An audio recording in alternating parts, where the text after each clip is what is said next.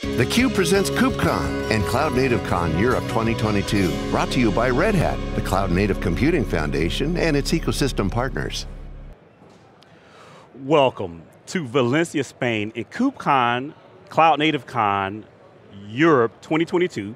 I'm your host, Keith Townsend, and we're continuing the conversation with community, with startups, with people building cloud native, a CUBE alum joined by a CTO, and I, as the CTO advisor, I really appreciate talking to CTOs. Kapil Thung Valu, uh, don't, forgive me if I murdered the name, that's a tough one. I'm, I'm, I'm getting warmed up to the CUBE seat, but don't worry, when we get to the technical parts, it's going to be fun. And then a CUBE alum, Umair Khan, Director of Marketing. Kapil, you're the CTO, so we'll, we'll start out with you. What's the problem statement? What, what, what are you guys doing?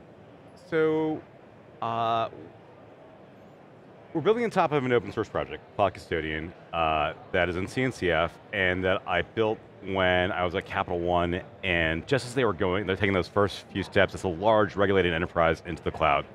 And the challenge that I saw was, you know, how do we enable developers to pick whatever tools and technologies they want, if they want to use Terraform or CloudFormation or Ansible, I mean the cloud gives us APIs. And we want to be able to enable people to use those APIs through innovative ways uh, but at the same time, we want to make sure that the, regardless of what choices those developers make, that the organization is being, is being well managed, that all those resources, all that infrastructure is complying to the organization's policies. And what we saw at the time was that what we were getting impediments around our velocity into the cloud because we had to cover off on all of the compliance and regulation aspects and we were doing that them as one-offs. And so uh, taking a step back, I realized that what we really needed was a way to go faster on the compliance side and Cloud Custodian was born out of that effort, a desk that we took through enterprise-wide, and it was really about um, accelerating the velocity around compliance, but doing it in the same way that we do application and infrastructure as code. So doing policy as code in a very simple, readable YAML DSL, um, because you know, you have we anytime we write code, we're going to more people are going to read that code than than are going to need to be able to write it. And so being able to make it really easy to understand from both the developers that are in the environment, from the compliance folks or auditors or security folks that might want to review it, um, it was super important. And then, instead of being, at the time we saw lots of vendor products and they were all just big walls of red in somebody's corner office. And getting that to actually back into the information back into the hands of developers so that they can fix things um, was problematic. So being able to do real-time remediation and real-time collaboration and communication back to developers. Hey, you put a database on the internet, it's okay, we fixed it for you, and here's the corporate policy on how to do it better in the future. So this is an area of focus of mine that people, I think, don't get right a lot. The technology, hard enough by itself. The transformation, cloud is not just about adopting new technologies, but adopting new processes. The data and information is there automatically, but when I go to an auditor or, or uh, compliance and say, hey, we've changed the process for how do we do change control for our software stack, I get a blank stare. It's, what do you mean? We've been doing it this way for the past 15, 20 years. That's resistance, it's a pain point, and projects fail due to this issue.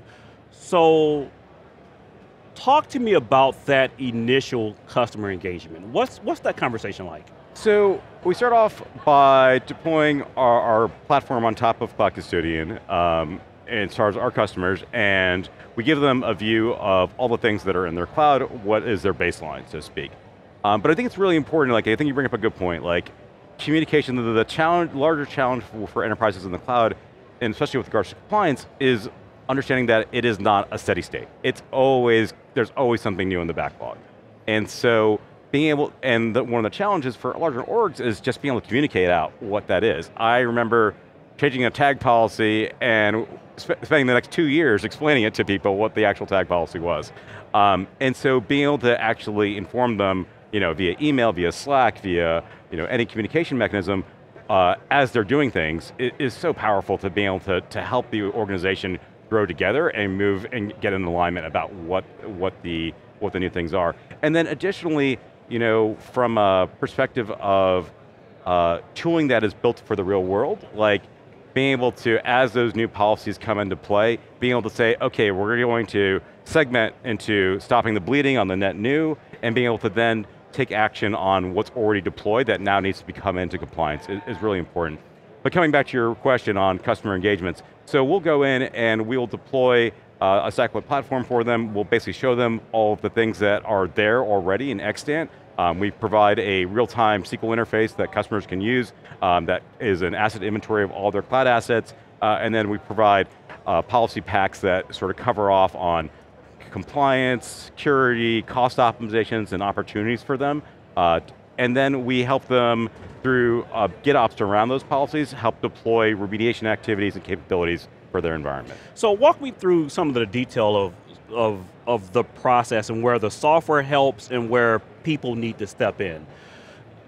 I'm making, I'm, I'm, talking to my security auditor, and he's saying, you know what, Keith, I understand that the AWS, that the uh, VM talking to, the application VM talking to the Oracle database, there is a firewall rule that says that that can happen.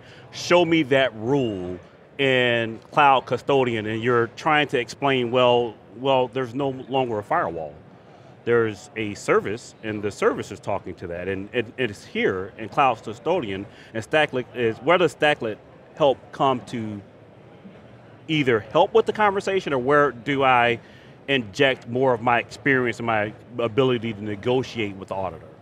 So, Stacklet, from the auditor perspective, uh, and if we take a step back, we, we talk about governance as code and, and, the four pillars around compliance, security, cost optimization, operations uh, that we help organizations do. But if we take a step back, what is Cloud Custodian? Cloud Custodian is really a cloud orchestrator, a resource orchestrator. What Stacklet provides on top of that is UI, UX, um, policy packs, at scale execution across thousands of accounts.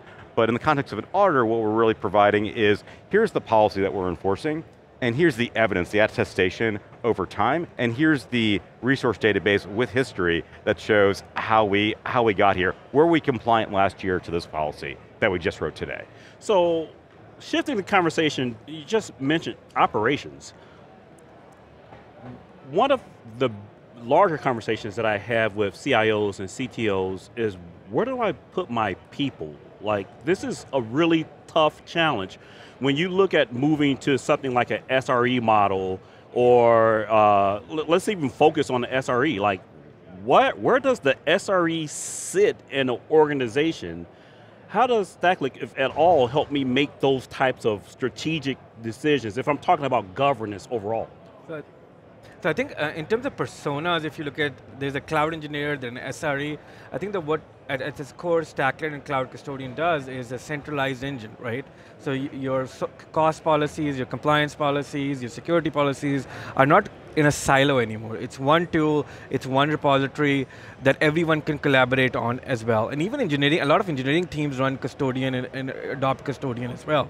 So in terms of persona, Stacklet really helps bring it together. All teams have the same simple YAML DSL file that they can write their policies, share their policies, and communicate and collaborate better as well. Kapil, anything Yeah, so I mean, cloud transformation for an enterprise is a deeper topic. Like I think, you know, there's a lot of good best practices, establishing a cloud center of excellence. Um, I, I, think, you know, investing in training for people, uh, getting certification so everyone can speak the same language when it comes to cloud is a key aspect. When it comes to the operations aspect, I very much believe that you should have, you know, try to devolve and get the developers writing uh, some of the DevOps, and so having SREs around for the actual application teams is, valuable, but you still have a core cloud infrastructure engineering group that's doing potentially any of your core networking, any of your uh, you know, IAM authentication aspects, and so uh, what we found is that you know, Stacklet and Cloud Custodian get primarily get deployed by one of three groups. uh, you know, you've got the, the CIO buyer within that cloud infrastructure engineering team, and what we found is that group is, because they're working with the application teams in a read-write way, uh, they're very much more um, uh, used to doing and, and, open to doing remediation in real time. Um, and so, and then we also have the, the, the CISO teams that want to get to a secure compliance state, be able to do audit and, and validate that all the environments are um, you know, secure, frankly. And then we get to the CFO groups. Uh, and so, and this it sometimes is part of the Cloud Center of Excellence, and so it, it has to be this cross-team collaboration. And they're really focused on the, that, that cost optimization, finding the over-provision, underutilized things, establishing workloads for dev environments to turn them off at night, um, of course respective of time zones, because we're all global these days. Uh, and so those are sort of the three groups that we see that sort of really want to engage with us because we can provide value for them to help their, accelerate their business goals. So that's an expansive view. Cost, compliance, security, operations, that's a lot. I'm thinking about all the tools, all the information that feeds into that. Where does cloud custodian start and stop? Like, am I putting cloud custodian agents on servers or uh, pods? Like, how, how am I interacting so the core cloud custodian is just a CLI. It's stateless. It's designed to be operationally simple. Uh, and so you can run it in Kubernetes, in Jenkins, we've seen people use GitLab, we've seen people run just as a query interactive tool just from um, investigations perspective on their laptop. But when you write a policy, a policy really consists of you know, a couple of core elements. Uh, you identify a resource you want to target, say an S3 bucket, or uh, a Google Cloud VM, and then you say, you establish a set of filters. I want to look for all the EC2 instances that are on public subnets with an IAM role attached that has the ability to uh, create another IAM user. And so that, you know, you filter down, you ask the arbitrary questions to filter to the interesting set of things you want, and then you take a set of actions on them. So you might take an action like stop an EC2 instance, and you might use it as an incident response. Um, you might uh, use it for off hours in, a, in that type of policy. So you get this library of filters and actions that you can combine to form you know, millions of different types of policies. Now, we also have this notion of an execution mode. So you might say, uh, let's operate in real time whenever someone launches an instance, whenever there's an API call. We want to introspect what that API call is doing and make sure that it's compliant to policy. Now when you do that, Custodian will, when you, and you run it with the CLI, Custodian will actually provision a Lambda function and hook up the event sources to it. Uh, and sorry, Lambda, really the serverless, we bind to the serverless native capabilities of the underlying cloud provider. The Google Cloud Function, Azure Serverless Functions, uh, and AWS Lambda and AWS. And so now that policy is effectively hermetically sealed, running uh, in the serverless runtime of that cloud and responding to API calls in real time. All with you know, structured outputs and logs and metrics to the native uh, cloud provider capabilities around those. Um, and that really ensures that uh, you know, it effectively becomes operation free from the perspective of the user of having to maintain infrastructure for it. So let's talk so about agent, agentless and API based. Let's talk about like the a non-developer use case, specifically finance.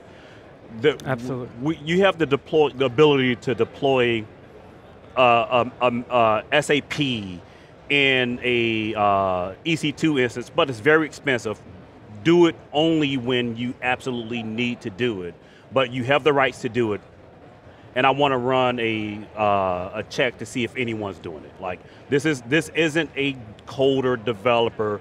What is their experience? So, so primarily we focus on, on the infrastructure. So load balancers, VMs, you know, encryption at rest on disks.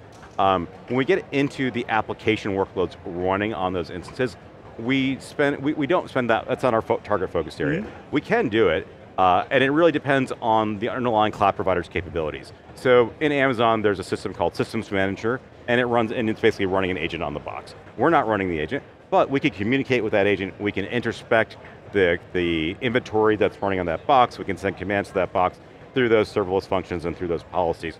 And so we see it commonly used for like incident response and a security perspective where you might want to take a, a memory snapshot of, of, of, the instance before uh, um, yeah. putting it into a forensic yeah, And adding to that, like the, these days we're seeing the emerging personas of a FinOps engineer or a FinOps director as well, because cost in cloud is totally different. So what Custodian and Stacklet allows to do is again using the simple policy files, even if they have a non-developer background, they can understand this DSL, they can create policies, they can better uh, target developers, better get them to take actions on policy as well. If they're overspending in the cloud or underspending in the cloud, uh, especially with Stacklet, you get they get a lot of out-of-the-box dashboards and policy packs too. So they can really understand how the cost has been consumed, they can have the developers take actions because a lot of the FinOps, finance people complain, like my developers does not understand it, right? How do we get them to take action and make sure we're not overspending, right? So with custodian policies, they're able to send them uh, educational messages on Slack or open a Jira ticket and really enforce them to take action as well and start saving cost. Like if you uh, if you imagine cloud custodian as um, you know cleaning staff for for the your your cloud environment, like it, it's uh, you know if you go to a typical you know cloud account, you're going to see chairs that are 10 feet tall sitting at the table. You're going to because it's been over provisioned and obviously no one can use it. Um, you're going to find like the trash is overflowing because no one set up a log retention policy on the log group or set up S3 uh, lifecycle rules on their buckets. And so you just have this um, sort of this, uh, this explosion of things that people now, you know, beyond application functioning, like beyond, you know, getting to, you know, high performance, DR capable, uh, SLAs around your application model, you now have to worry about the lifecycle of all those resources and helping people manage that lifecycle and making sure that they're using the, the, just the resources and consumption that they need because we're all utilization based uh, in the cloud. And so getting that to be more in line with what the application actually needs is really where we can help organizations in the CFO cost so, context. Emil, you got 10 seconds to tell me why you brought me a comic book. we created this comic book uh, to explain the concept of governance as code in a simplified fashion. I know, Keith, you like comic books, I believe. Uh, so it's a simple way of describing what we do, why it's important for FinOps, for SecOps teams, and it talks about custodian and Stacklet as well. Well, I'm more of an Iron Man type of guy or Batman. Cloud governance or governance in general, cloud native governance is a very tough problem. I can't underemphasize how many projects get stalled or fail from a perception perspective, even if you're technically delivered what you've asked to deliver. That's where a lot of these conversations are going. We're going to talk to a bunch of startups that are solving these tough problems here from Valencia, Spain, I'm Keith Townsend, and you're watching theCUBE, the leader in high-tech coverage. Thank you.